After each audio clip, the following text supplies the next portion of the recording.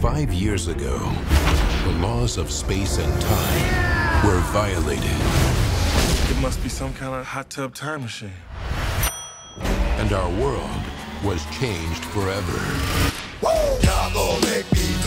Was it morally wrong to exploit our knowledge of the future for personal financial gain?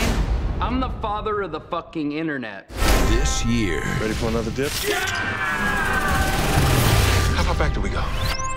2025. the future Oh, God, I'm so good at that. isn't what it used to be. I know you're falling on hard times. Jesus. You look like Gandalf the Poor. Fuck you for making me bald. I have definitely given a back alley blowjob.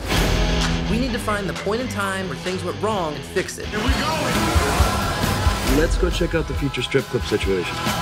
What is that? It's just like baby aspirin, except more of a super high intensity psychotropic drug trip.